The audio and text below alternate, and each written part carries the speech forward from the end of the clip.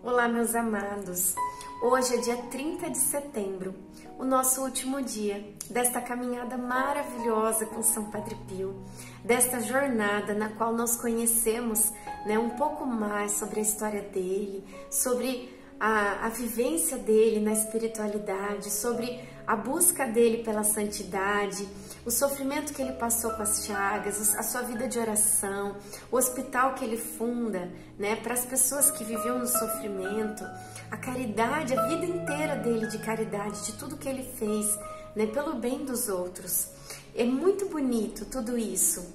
Eu acredito que você que, que acompanhou esse projeto durante esse mês de setembro, né, a gente não tem como não se apaixonar por ele não deixar registrado aqui tudo que nós vivemos, né? Tudo que nós aprendemos com São Padre Pio. Aliás, eu passei pelo dia 23 de setembro, né? E acabei nem comentando, mas dia 23 é o dia dele. Mas para nós que acompanhamos esse projeto, o dia dele foi todos os dias do mês. A gente esteve aqui junto com ele todos os dias né, nesta caminhada com São Padre Pio, conhecendo, vivenciando, admirando, nos tornando mais devotos dele. Então agradeço a você que esteve aqui conosco nesta jornada de 30 dias. Foi maravilhoso ter a sua companhia conosco todos os dias aqui, nesta oração, nesta, né, neste conhecimento, nesta partilha eu recebi muitas mensagens durante este mês de pessoas que se tornaram devotas de São Padre Pio através desta deste projeto, né? Pessoas que adquiriram até a imagem dele, teve até uma que me mandou a foto da imagenzinha dele até com a luvinha na imagem, né? Que adquiriram o livro dele, que começaram a, a ler mais sobre ele, a conhecer mais a história de São Padre Pio. Enfim, foi muito bom, muito gratificante. Eu quero dizer para você que se você não alcançou a graça que você estava aqui pedindo, não desanime. Continue perseverante na oração. Deus tem o tempo e a hora. E São Padre Pio vai continuar intercedendo por você. E no momento certo, a graça chegará. Tenha certeza disso. E para terminar o nosso projeto, eu separei uma frase dele que nos diz assim um, um ensinamento para a vida. Em tudo o que você fizer, Seja sempre humilde, guardando zelosamente a pureza de seu coração e a pureza de seu corpo.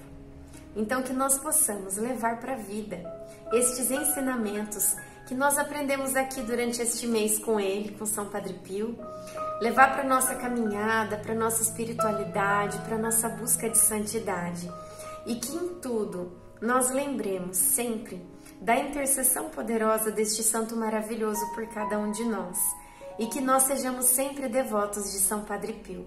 Obrigada a você que esteve aqui conosco neste projeto. Que Deus abençoe a sua vida e até o próximo, se Deus quiser. Nós encerramos com a oração de São Padre Pio a Jesus. Jesus, que nada me separe de, de ti nem a vida, nem a morte. Seguindo-te em vida, ligado a ti com todo o amor, seja-me concedido expirar contigo no Calvário, para subir contigo à glória eterna.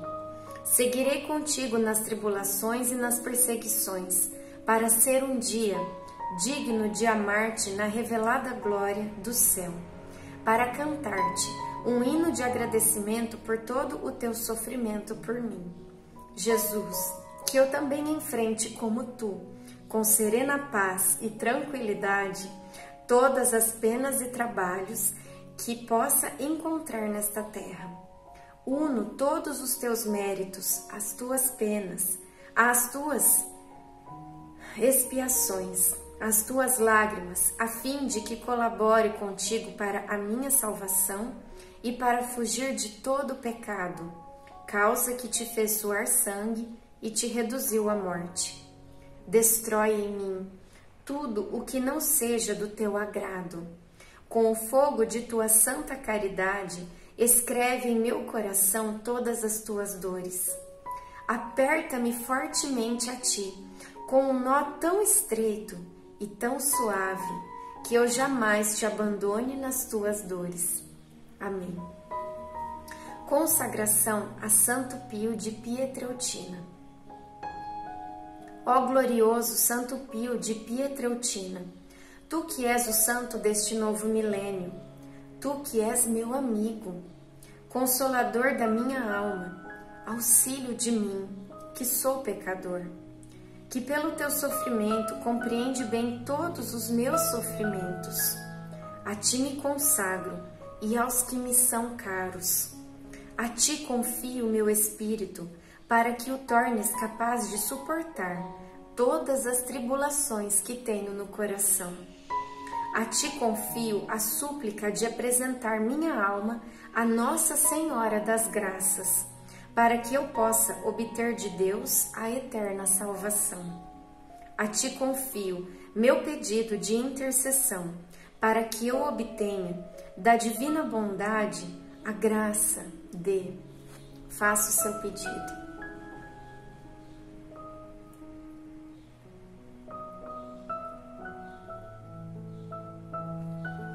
Que ardentemente desejo.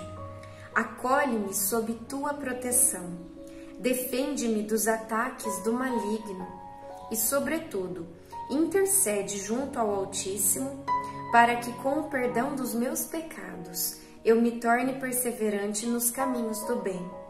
Glória ao Pai, ao Filho e ao Espírito Santo, assim como era no princípio, agora e sempre, por todos os séculos dos séculos. Amém.